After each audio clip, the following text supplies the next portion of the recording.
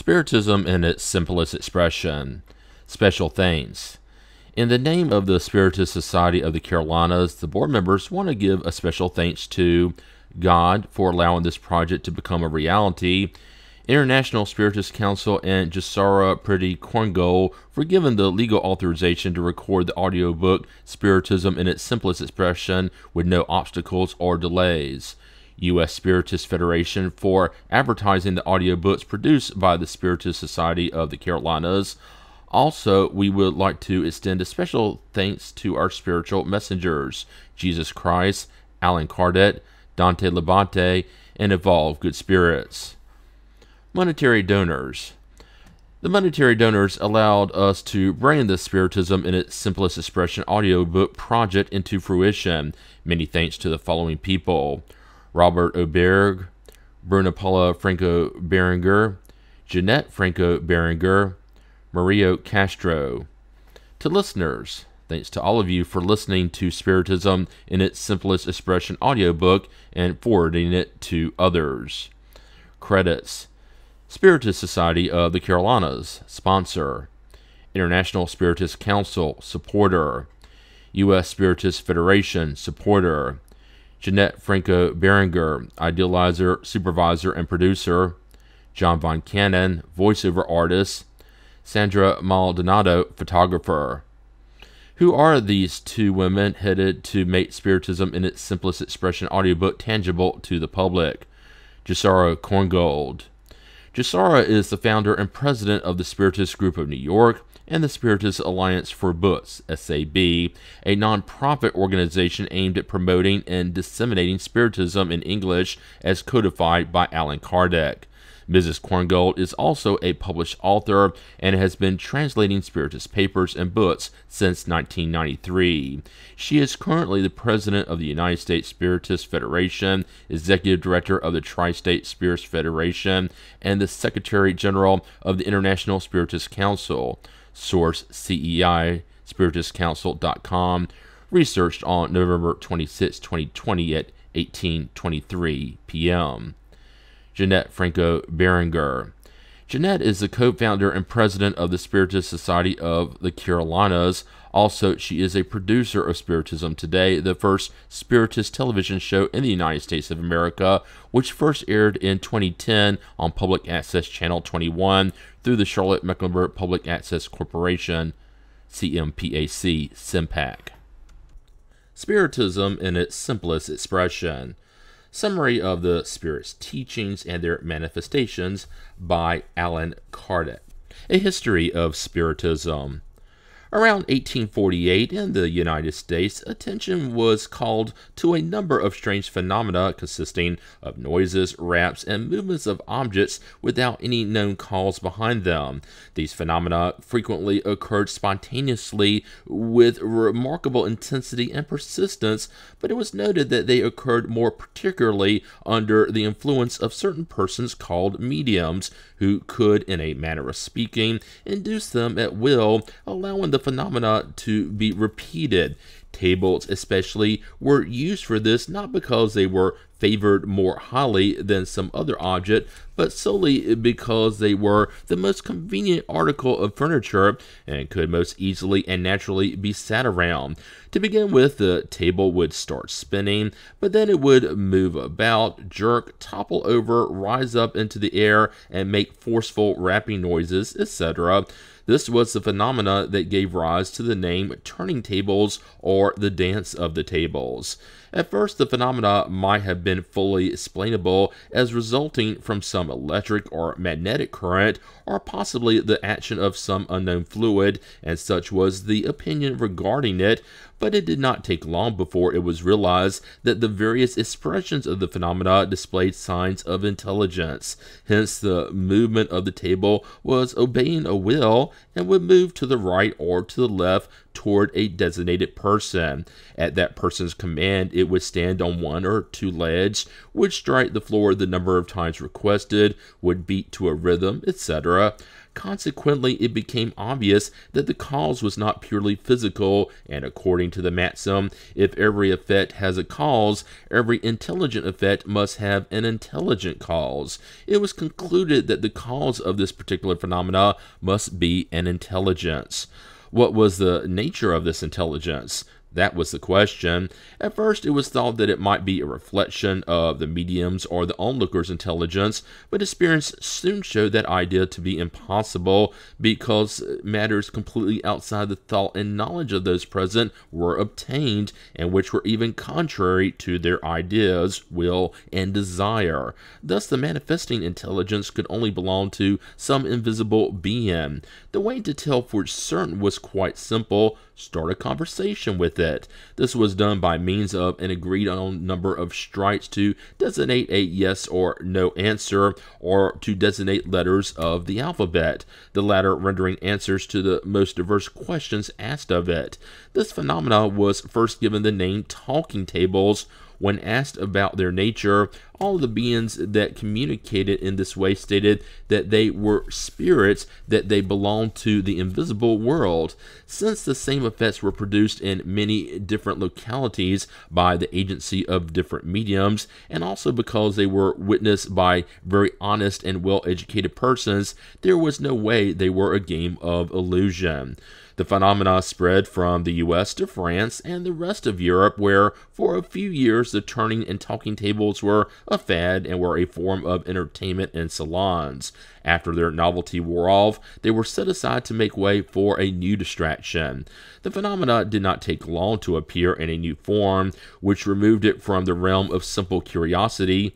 The scope of this brief summary will not allow us to follow it in all its phases, so we shall proceed with no further ado to what was to be in its most characteristic phase, the one that most specially gained the attention of serious persons.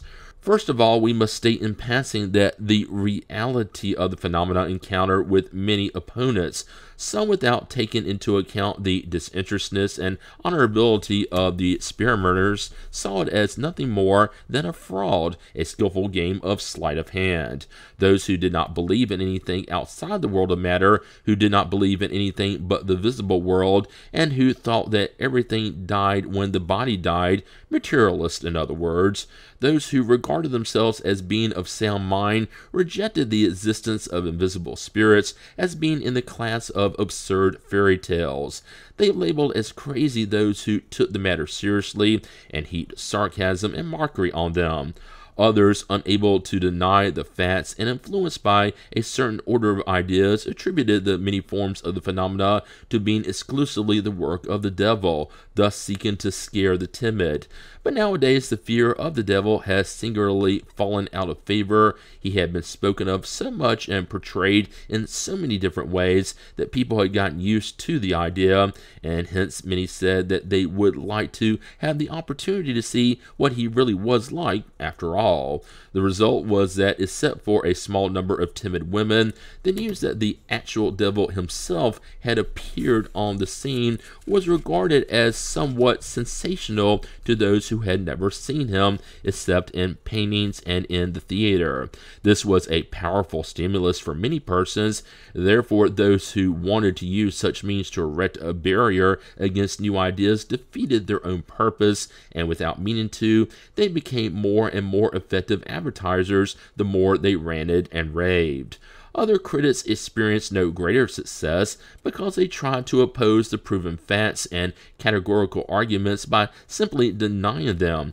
Just read what they publish. You will find plenty of proof of their ignorance and lack of serious observation of the phenomena, but you will never find a peremptory demonstration of their impossibility. Their entire argument may be summed up as We do not believe, therefore it does not exist.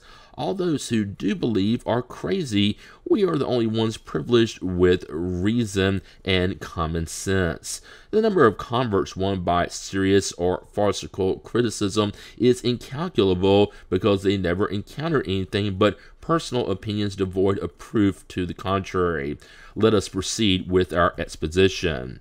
Communications by means of raps were slow and incomplete. It was then discovered that when a pencil was fitted to a movable object, such as a tiny basket, a planchette, etc., upon which the medium placed his or her fingers, the object began to move and trace out characters. Later still, it was realized that these objects were mere accessories and could be eliminated. Experience demonstrated that if a spirit could act upon an inner object to guide it at will, it could also act upon an arm or hand in order to guide the pencil.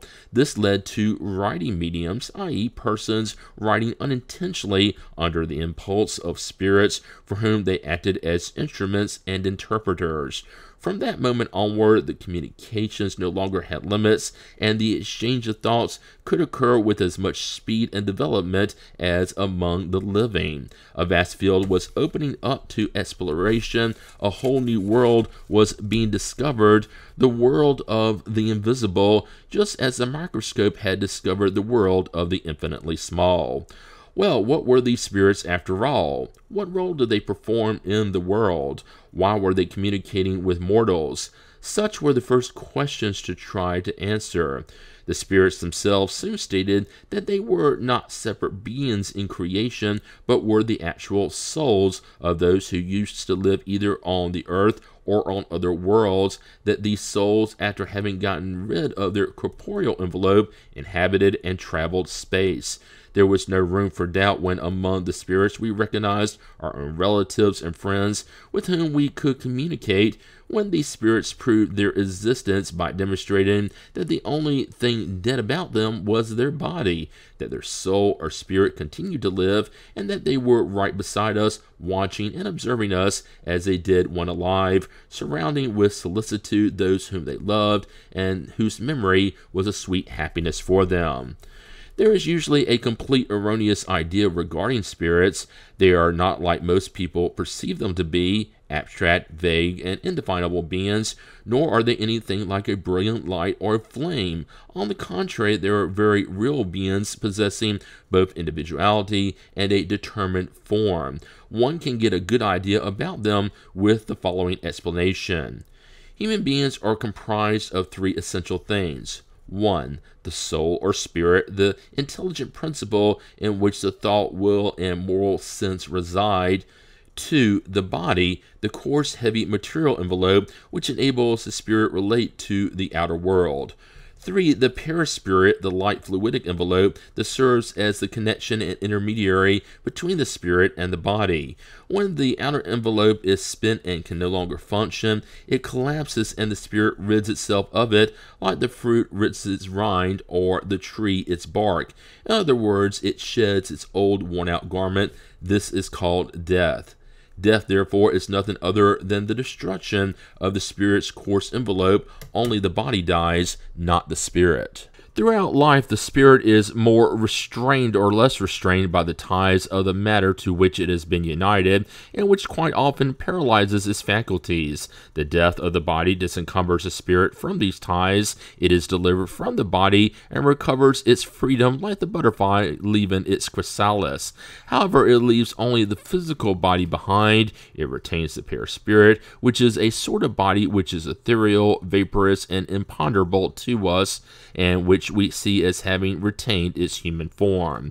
In its normal state, the perispirit is invisible to us, but the spirit can make it undergo certain modifications that render it temporarily accessible to our sight and even our touch, much like steam as it condenses. This is how spirits can at times appear to us in apparitions. It is with the perispirit's help that the spirit can act upon inert matter and produce phenomena such as noises, movements of objects, writing, etc. Raps and movements of objects or ways spirits use to attest to their presence and call attention to themselves, exactly like someone knocking at the door, letting those inside know that someone is there. There are spirits that do not limit themselves to moderate noises, but make a racket much like dishes breaking, doors opening and slamming shut, or furniture being overturned. Spirits can express their thoughts by using raps and agreed upon movements, but writing offers them the best, quickest, quickest and most convenient means, it is also the one they prefer. In the same way that they can enable the hand to form letters, they can guide it to draw, write music, or play a melody on an instrument. In other words, in the absence of its own body, which it no longer has, it can use that of the medium to manifest itself in a manner perceptible to humans. Spirits can also manifest in other ways, sight and hearing to name a couple. Certain individuals called hearing mediums have the ability to hear them and thus talk to them. Others can see them. These are seeing mediums. Spirits who manifest to sight usually appear in a form similar to the one they had while alive only vaporous. At times, this form takes on all the appearances of a live being, so much so that spirits can completely fool everyone, and to such a degree that they have sometimes been taken to be flesh and bone persons with whom other persons were able to converse and exchange handshakes without realizing they were dealing with spirits, had the latter not suddenly vanished. The continued widespread sightings of spirits are very rare, but individual apparitions are quite frequent, especially at the time of death. The liberated spirit seems to be in a hurry to go see its relatives and friends, as if to advise them that it has just left the earth and to tell them that it continues to live. Let us all probe our memories and see how many inexplicable incidents of this kind have occurred without our being aware of it, not only at night during sleep, but in broad daylight while wide awake. Yesteryear, such incidents were regarded as supernatural and extraordinary and were attributed to magic and sorcery. Today, disbelievers see them as the result of imagination. However, ever since Spiritist science provided the key, we have understood how they are produced and that they are not outside the order of natural phenomena.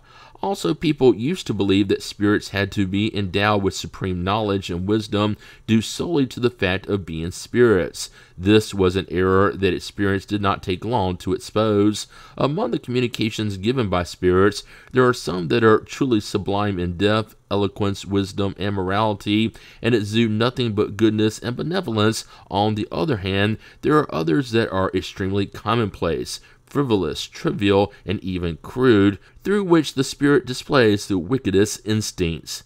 Hence, it is obvious that these two types cannot emanate from the same source, and that if there are good spirits, there are bad ones as well.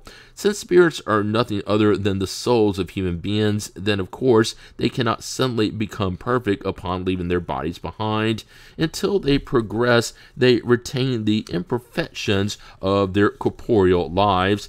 That is why they may display every degree of goodness or maliciousness, wisdom or ignorance.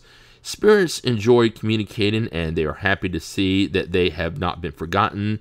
They willingly describe their impressions when they left the earth, their new state of affairs, and the nature of their joys and sufferings in the spirit world where they now find themselves.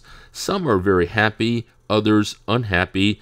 Some must even endure awful torment according to how they lived and the good or bad helpful or unhelpful use they made of their lives. By observing them in every phase of their new life according to the position they occupied while on earth, the type of death they experienced, their character, and their habits as men and women, one can arrive at, if not a complete understanding, then at least one that is quite precise about the invisible world per se, so that we may take our own future state into account and foresee the happy or unhappy fate awaiting us us there. The teachings by high order spirits concerning all the subjects of interest to humankind, along with the responses they have given to the questions asked of them, have been carefully collected and coordinated and comprise an entire science, an entire moral and philosophical doctrine called Spiritism. Hence, Spiritism is a doctrine founded on the existence, the manifestations, and the teachings of spirits. This doctrine is set forth completely in the Spirits book for the philosophical aspect, the Mediums book for the practical and experimental aspect, and the Gospel according to Spiritism for the moral aspect. By the analysis given below regarding these works, one can get an idea of the variety, extent, and importance of the materials they cover. As stated earlier, Spiritism had its departure point in the commonplace phenomena of the turning tables, but because such incidents speak more to the eyes than to the mind and awaken curiosity more than sentiment, then when people's curiosity was satisfied, they were no longer interested in the tables due to their lack of understanding.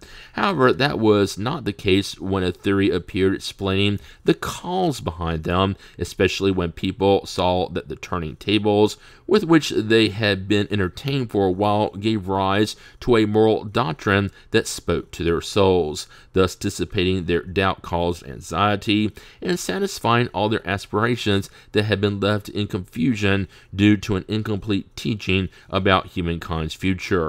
Serious people welcome the new doctrine as something highly beneficial and ever since then, instead of waning, it has grown with unbelievable speed. In just a few years, it has won adherents in every country of the world, especially among enlightened individuals, innumerable followers whose numbers are increasing by the day at an extraordinary rate, so much so that it may now be stated that Spiritism has won the right of citizenship. It is seated squarely upon foundations that defy the efforts of its adversaries who are interested to varying degrees in finding it. The proof of this fact is that the attacks and criticisms leveled at it have not slowed down its forward progress one bit. This is a fact supported by experience and which its adversaries have never been able to explain.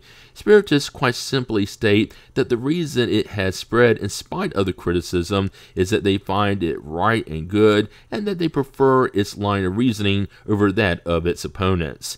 Now, Spiritism is not a recent discovery. The phenomena and the principles upon which it rests have been lost in the night of time because traces of them may be found in the beliefs of all cultures, in all religions, and in most of the sacred and profane writings. The only problem was that the phenomena were incompletely observed and were frequently interpreted according to the superstitious ideas of ignorance. Thus, their consequences were deduced insufficiently.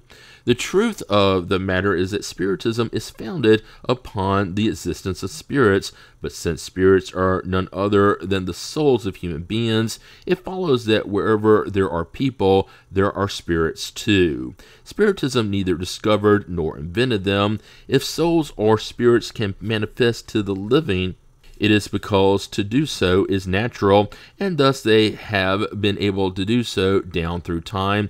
Hence, in every era and in every place, there have been demonstrations of such manifestations. The biblical record, for instance, is full of them.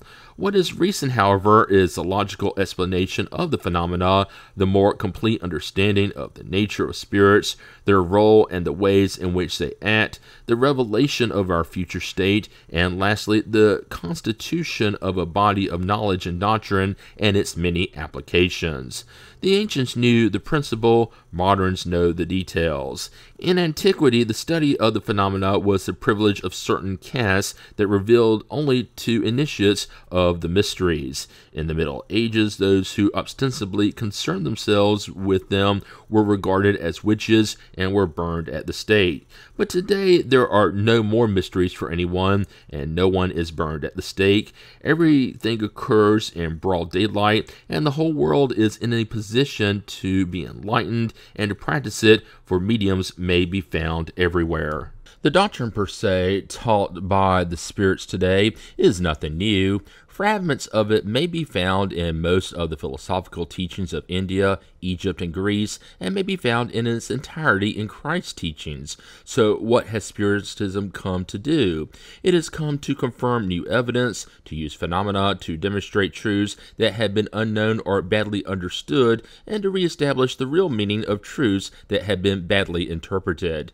Spiritism teaches nothing new, that is true, but is it really nothing to patently irrefute? Undisputedly prove the existence of the soul, its survival after the body has died, its individuality after death, its immortality, and the punishments and rewards reserved for it in the future.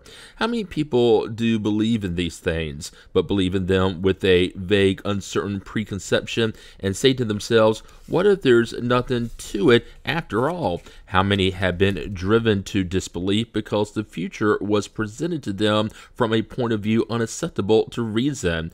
So is it nothing that a vacillating believer can say, now I'm sure about it, that the blind can see the light again? By using both facts and logic, Spiritism dissipates the anxiety of doubt and leads to faith those who have pushed it aside. By revealing the existence of the invisible world surrounding us and in the midst of which we live without even being aware of it, it enables us to know about the conditions of our future happiness or unhappiness by providing us with examples regarding those who have lived. Lastly, it explains the cause behind our sufferings in this world and the means of mitigating them.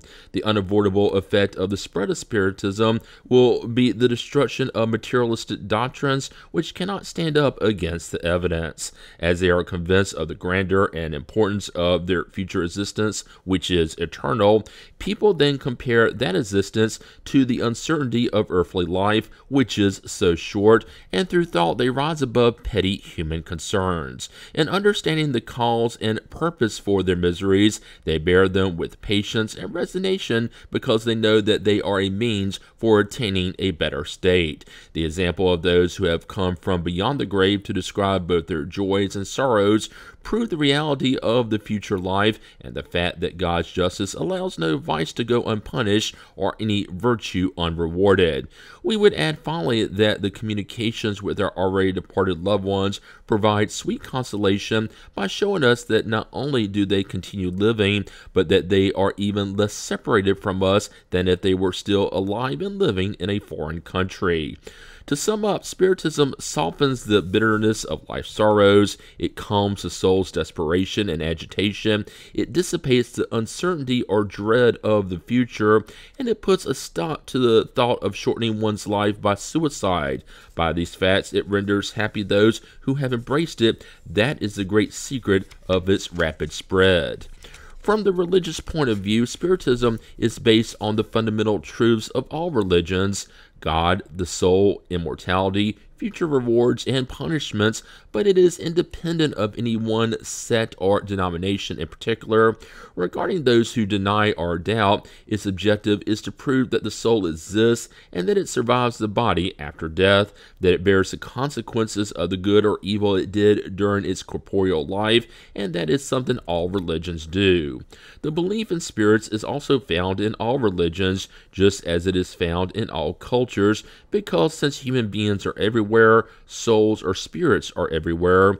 Their manifestations have occurred in every age and have been recorded in the writings of every religion without exception. Thus, one may be Eastern or Roman Catholic, Protestant, Jew, or Muslim and believe in spirit manifestations, and as a consequence, be Spiritist. This is proven by the fact that Spiritism has adherents in all sects. As for morality, it is essentially Christian because what it teaches is merely the development and application of Christ's teachings, which are the purest of all, and whose excellence is contested by no one. Obvious proof that Spiritism's morality is based on God's law, hence, its morality is for the whole world to use. Since Spiritism is independent of any ritualistic forms, prescribing none, and since it is not concerned with any dogmas in particular, it is not a religion per se, for it has neither priests, temples, nor churches. To whoever might ask if it is acceptable to follow this or that practice, it responds, If you believe your conscience is leading you to do so, then do it. God always takes one's intent into account. In other words, Spiritism does not impose itself on anyone, it does not address those who already have faith and for whom such faith is insufficient. Rather, it addresses the countless uncertain and disbelieving persons. It takes none away from the church, since morally they are already completely or partially separate from it. It does have them walk three fourths of the way to embrace it. It is up to faith to do the rest. It is true that Spiritism fights against certain beliefs such as eternal punishment, the physical fires of hell, the figure of the devil, etc. But it is not the case that whenever such beliefs have been imposed as absolutes, they have made disbelievers each and every day. If in lending these dogmas and others a rational interpretation, Spiritism thereby leads back to the faith those who had deserted it. Is it not rendering a service to religion? In fact, a well respected cleric had this to say about it. Spiritism enables one to believe in something, and it is better to believe in something than not to believe in anything. Since spirits are nothing but souls, one cannot deny the existence of spirits without denying the existence of the soul. By believing in souls or spirits, the question reduced to its simplest expression is can the souls of those who have died communicate with the living? Spiritism offers material facts to prove they can what fact can be given to prove they cannot? Such being the case, all the denials in the world cannot keep it from being the case because Spiritism is neither a system nor a theory, but a law of nature. Now, against the laws of nature, the human will is powerless. It is necessary, therefore, whether one likes it or not, to accept the consequences and conform one's beliefs and habits to them. Spiritism in its simplest expression. Summary of the Spirit's teachings 1. God is the supreme intelligence, the first cause of all things. God is eternal, one, immaterial, immutable, all powerful, supremely just, and good. God must be infinite in all his perfections, for if just one of these attributes were imperfect, God would not be God. 2. God created the matter of which the worlds are made. God also created intelligent beings, which we call spirits. Spirits are in charge of administering the physical worlds according to the immutable laws of creation. These spirits are perfectible by nature, and as they become perfected, they approach divinity. 3. The spirit per se is the intelligent principle. Its innermost nature is unknown to us. It is immaterial to us because it has no analogy with what we call matter. 4. Spirits are individual beings. They possess an ethereal, imponderable envelope called the perispirit, a sort of fluidic body in human form. Spirits inhabit space, which they can travel through faster than light. They make up the invisible world. 5. The origin and the way spirits are created are unknown to us. We know only that they are created simple and ignorant, i.e., without knowledge or the understanding of good and evil. Nevertheless, they are created with an equal aptitude for all things, for God in His justice would not exempt some from the work imposed on others to reach perfection. At first, they live in a sort of infancy without their own will and without complete awareness of their existence. 6. Spirit's free will develops as ideas develop, and God says to them, You can all claim supreme happiness when you have acquired the knowledge you now lack and when you have completed the task I am imposing on you. Therefore, work for your advancement. That is your goal. You will reach it by obeying the law that I have engraved in your conscience. As a result of their free will, some take the shorter path, that of the good, whereas others take the longer, that of evil. 7. God did not create evil. God established laws, and these laws are always good because God is supremely good. Those who faithfully obeyed them would be perfectly happy. However, since spirits have free will, they do not always obey them, and evil results for them because of their disobedience. Thus, one could say the good is everything that conforms to God's law, and evil is everything contrary to this same law. 8. In order to cooperate as agents of the divine power regarding the work of the physical worlds, spirits temporarily put on a physical body. By means of the labor that their corporeal existence demands, they perfect their intelligence, and by obeying God's law, they acquire the merit that will lead them to eternal happiness. 9. In the beginning, incarnation is not imposed on the Spirit as punishment, it is needed for its development and completion of the works of God. All must endure it, taking the path of either good or evil. Only those who follow the course of the good advance more quickly. They take less time in reaching their goal and reach it under less painful conditions. 10. Incarnate spirits comprise humanity, which is not limited to the earth only, but inhabits all the worlds scattered throughout space.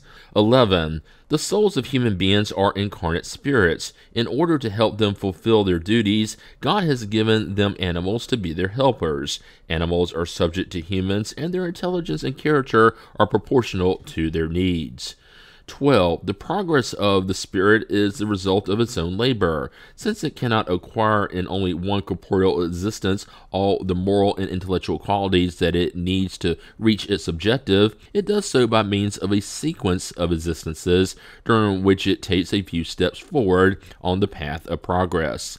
13. During each corporeal existence, the spirit must undertake a task that is proportional to its development. The harsher and more laborious the task, the more merit there is in completing it. Thus, each existence is a trial that brings it closer to its goal.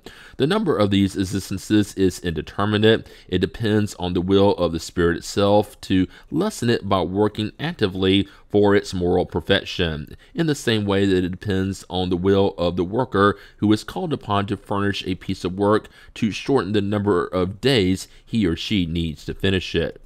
14. When an existence is spent improperly, it is of no use to the spirit, who must reincarnate under conditions that are painful to a greater or lesser degree due to its negligence and badly used will. Thus, in life, it may be constrained to do on the following day what it did not do the day before, or to redo what it did badly. 15. The spirit life is the spirit's normal life. It is eternal. Corporeal life is temporary and fleeting. It is only an instant in eternity. 16. In between its corporeal existences, the spirit is errant. The errant state, erraticity, is not of a predetermined length of time. In it, the spirit is either happy or unhappy according to the good or bad use it made of its latest existence. It studies the causes that sped up or slowed down its evolution. It makes resolutions that will seek to put it into practice during its next incarnation and choose for itself the trials that it believes will be most beneficial for its advancement. Nevertheless, it sometimes errs since, as a human being, it fails to fulfill the resolutions it made as a spirit. 17. The guilty spirit is punished by mental suffering in the spirit world and by physical suffering during corporeal life. Its afflictions are the result of its wrongs, that is, of its transgressions of God's law. They are therefore at one and the same time an expiation of its past and a trial for its future. Thus it is that the once proud spirit may have to live a life of humiliation, the tyrant a life of servitude, the greedy a life of want. 18. There are worlds suitable to different degrees of spirit advancement, and where corporeal existence entails highly diversified conditions. The less advanced the spirit is, the more material and heavier the bodies with which it is enveloped. As it purifies itself, it passes on to worlds that are more highly evolved, both morally and physically. The earth is neither the best nor the worst, it is, however, one of the least evolved. 19. Guilty spirits incarnate on less advanced worlds where they expiate their wrongs through the tribulations of material life. These worlds are for them true purgatories, and it depends on their own efforts to leave them by working for their moral advancement. The earth is one of these worlds. 20. Since God is supremely just and good, he does not condemn his people to eternal punishment because of their transitory wrongs. He continually offers them the means to progress and to repair the bad things they have done. God does forgive them, but such forgiveness requires repentance, reparation, and a return to the good. Hence, the duration of the punishment is proportional to the Spirit's persistence in wrongdoing. Consequently, punishment would be eternal for any spirit that continued eternally on the path of wrongdoing. But as soon as a spark of repentance enters the guilty heart, God extends the divine mercy to it. Eternal punishments must therefore be understood to be relative and not absolute. 21 when they incarnate spirits bring with them what they acquired during their previous existences this is why people instinctively display special aptitudes or good or bad inclinations that appear to be inborn. Natural bad inclinations are the remnants of a spirit's imperfections that it has not yet rid itself of completely. They are also indications of the wrongs it has committed, the true meaning of original sin. During each existence, it must wash away a few of its impurities. 22. The Spirit's complete unawareness of its previous existences is a gift from God, who, out of divine goodness, wants to spare people memories that are quite often painful. In each new existence, people are what they make of themselves. It is for them a new departure point. They know their current faults and they are aware that these are the consequences of previous ones. Thus, they can deduce what wrongs they committed in the past, and this is sufficient for working to correct them. If they no longer have the imperfections they used to have, they no longer need to be concerned about them. They have their current ones to be concerned about. 23, if the soul had never lived before, it would be because it was created at the same time as its body. If that were the case, it would have no connection with the persons that precede it. One may thus ask how God, who is supremely just and good, could make it responsible for the wrongs of the father of humankind, staining it with an original sin that it did not commit.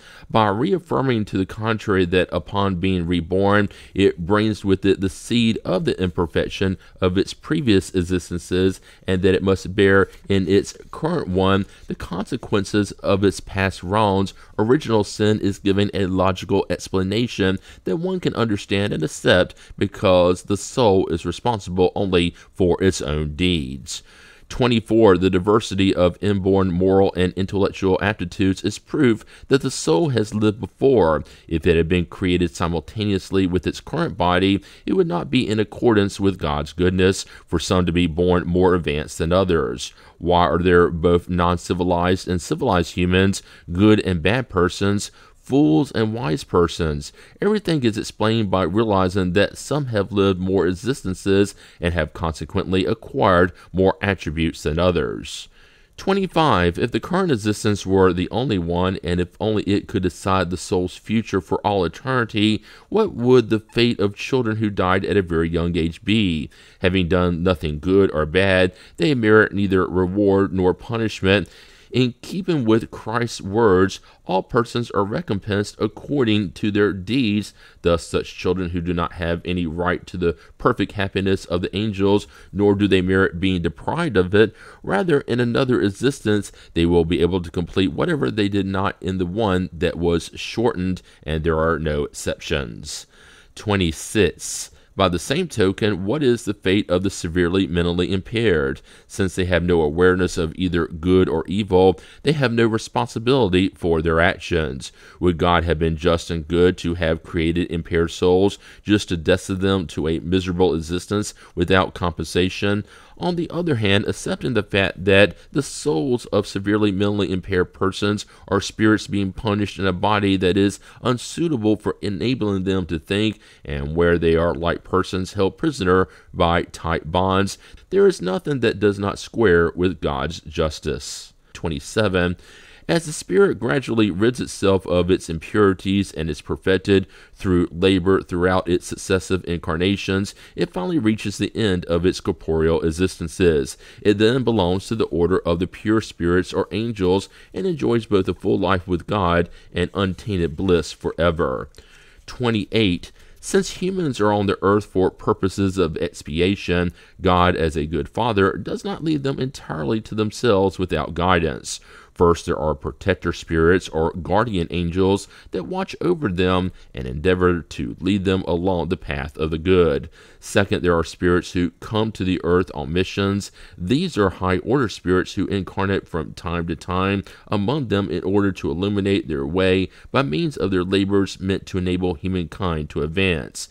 Even though God engraved the divine law on their consciences, he also thought he ought to formulate it explicitly. First, he sent them Moses, but the law of Moses were made for the people living at the time, speaking to them only about the earthly life and of temporary rewards and punishments. Afterward, Christ came to complete the law of Moses by means of a more elevated teaching, the plurality of existences, the spirit life, and moral rewards and punishments. Moses taught them through fear, Christ through love and charity. 29. Because Spiritism is better understood nowadays, it adds evidence to theory for the benefit of disbelievers. It proves the future by means of patent facts. It states in clear and unequivocal terms what Christ stated by means of parables. It explains truths that used to be unknown or erroneously interpreted. It reveals the existence of the invisible world, that of spirits, and initiates humans into the mysteries of the future life. It has come to combat materialism, which is rebellion against God's power. Lastly, it has come to establish among humans the reign of charity and solidarity proclaimed by Christ. Moses plowed, Christ sowed, Spiritism has come to reap. 30. Spiritism is not a new light, but a brighter one, for it has appeared at all points of the globe through the voices of those who once lived. By making obvious what used to be obscure, it has put an end to erroneous interpretations and will unite humans in a common belief, for there is only one God whose laws are the same for all. Lastly, it has marked the era predicted by Christ and the prophets. 31. The ills that plague humans on earth are caused by pride, selfishness, and all the base passions. By coming in contact with one another's vices, humans make each other unhappy and punish one another. Let charity and humility replace selfishness and pride, and people will no longer try to harm one another. They will respect each other's rights and will make harmony and justice reign in their midst. 32. But how to destroy the selfishness and pride that seem inborn within the human heart.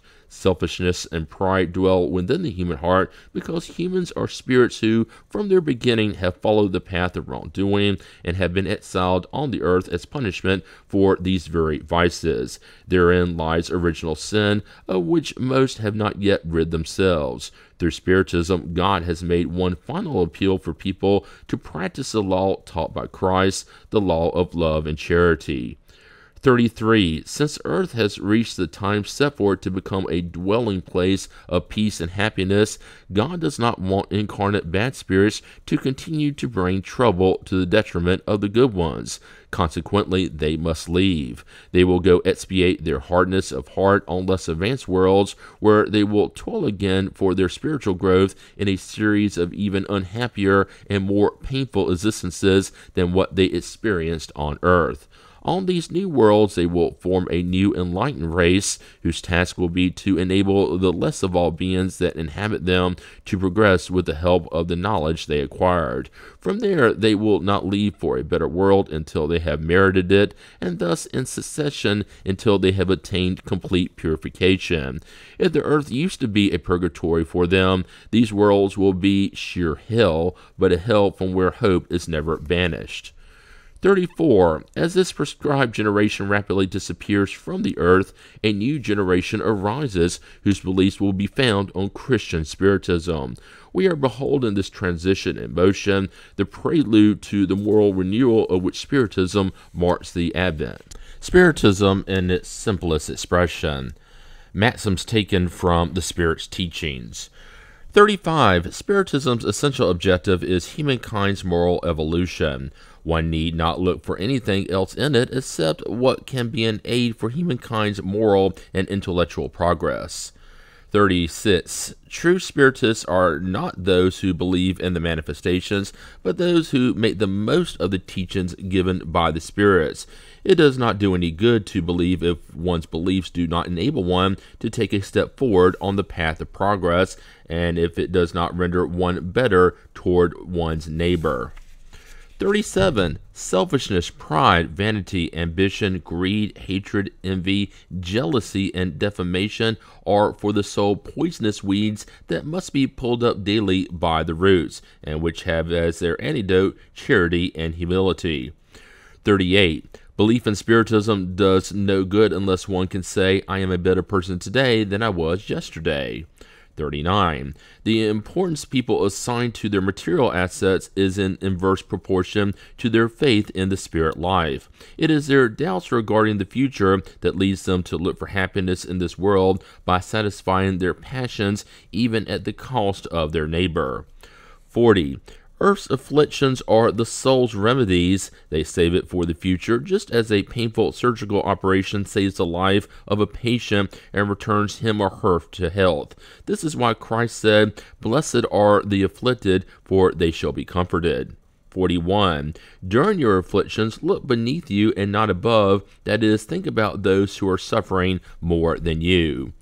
42. Despair is natural for those who believe that everything ends with the life of the body. Despair does not make sense for those who have faith in the future. 43. People are frequently the artisans of their own misfortune in this world. Let them go back to the source of their misfortunes, and they will see that. For the most part, they are the result of their own lack of foresight, pride, or greed, and consequently their infraction of God's law. 44. Prayer is an act of worship. Praying to God is thinking about Him, it is drawing near to Him and putting oneself in communion with Him. 45. Those who pray fervently and trustingly are stronger against the temptations of evil, and God sends good spirits to help them. It is an aid that is never refused when asked for sincerely. 46. The essential thing is not to pray much, but to pray rightly. Certain persons believe that the whole merit of the prayer is to be found in its length, while at the same time they shut their eyes to their own faults. For them, prayer is simply an occupation, a way to take up their time, not self examination. 47. Those who ask God for the forgiveness of their wrongs do not receive it unless they change their behavior. Good actions are the best prayers because actions speak louder than words. 48. Prayer is recommended by all good spirits. Moreover, it is requested by all imperfect spirits as a means of relieving their sufferings. 49. Prayer cannot change the decrees of providence, but when suffering spirits see that someone has shown some interest in them by means of prayer, they feel less forsaken and are less unhappy. Prayer lifts their courage, incites in them the desire to uplift themselves through repentance and reparation, and can deter them from bad thoughts. In this way, prayer can not only relieve their sufferings, but also shorten them. 50. Let each of you pray according to your convictions and in the way you believe is most appropriate, because form means nothing, the thought is everything. What is essential is sincerity and purity of intent. A good thought is worth more than many heartless and numerous words, which are like the noise of a mill. 51. God makes strong and powerful individuals so that they may uphold the weak. Strong persons who oppress the weak offend God, and they often receive their punishment in their present lifetime without harm to their future.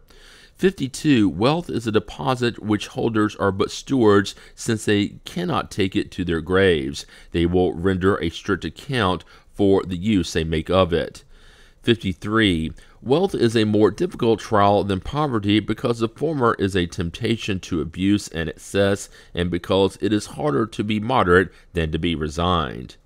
54. Ambitious persons who succeed and wealthy persons who revel in material pleasures are more to be pitied than envied, for there will be consequences. By means of the terrifying examples of those who used to live and who have come to reveal their fate, Spiritism demonstrates the truth of what Christ said Whoever exalts himself shall be brought low, and whoever lowers himself shall be exalted. 55. Charity is the supreme law of Christ. Love one another, love your neighbor as yourselves, forgive your enemies, do not do unto others what you would not like for them to do unto you. All this may be summed up in the word charity. 56. Charity does not consist only in almsgiving, for there is charity in thoughts, words, and deeds. Those who are charitable in thought are tolerant toward the faults of their neighbor. Those who are charitable in words say nothing that might harm their neighbor. Those who are charitable in deeds assist their neighbor to the best of their ability. 57. Poor individuals who share their piece of bread with someone even poorer are more charitable and have more merit in God's eyes than those who give of their surplus without depriving themselves of anything. 58. Those that nourish sentiments of animosity, hatred, jealousy, and rancor towards their neighbor are not charitable. They lie if they call themselves Christians and they offend God.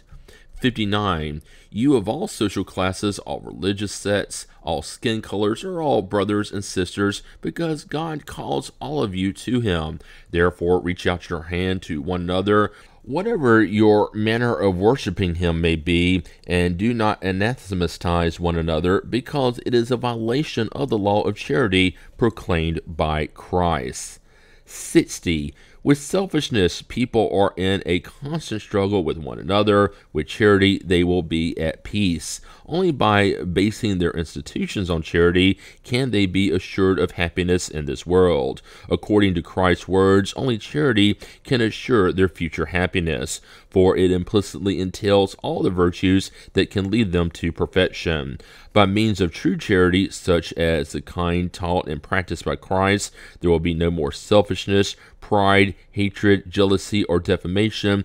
There will be no more disorderly attachment to worldly assets. This is why Christian Spiritism holds to the maxim without charity, there is no salvation. Disbelievers, you can laugh at spirits and you can deride those who believe in their manifestations. Therefore, laugh, if you dare, at that maxim and what it teaches, and which is your only safeguard. For if charity disappeared from the face of the earth, people would tear each other apart, and perhaps you would be among the first victims. The time is not far off in which that maxim, proclaimed openly in the name of the spirits, will be a guarantee and an entitlement of trust for all those who carry it engraved on their hearts. One spirit said they laughed at the turning tables. They will never laugh at the philosophy and morality that have sprung from them. In fact, after only a few years, we have come a long way from those initial phenomena, which served for an instant as a distraction for the idle and curious. You will say this morality is antiquated. The spirits uh, should have enough creativity to provide us with something new, a witty sentence more than a criticism. So much the better. If it is antiquated, that shows that it is timeless, and people are all the more blameworthy for not having practiced it, because there are no real truths unless they are eternal. Spiritism has come to recall them not by means of an isolated revelation made to one person alone, but by means of the voices of the spirits themselves, who, like the final trumpet, have come to proclaim to you, believe that those whom you call dead are more alive than you are, because they see what you cannot see and hear what you cannot hear. You can identify in those who have come to speak to you your relatives, friends, and all those whom you loved while they were on the earth, and whom you thought you had lost forever. Unfortunate are they who believe everything ends with the body, for they will be cruelly disappointed. Unfortunate are they who have lacked charity, for they will suffer what they have caused others to suffer.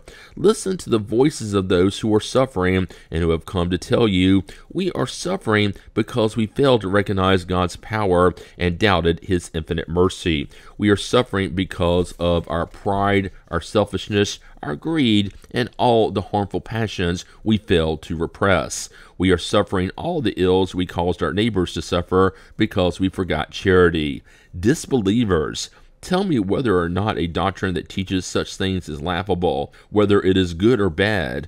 Looking at it only from the social order point of view, tell me whether or not those who were to practice it would be happy or unhappy, better or worse.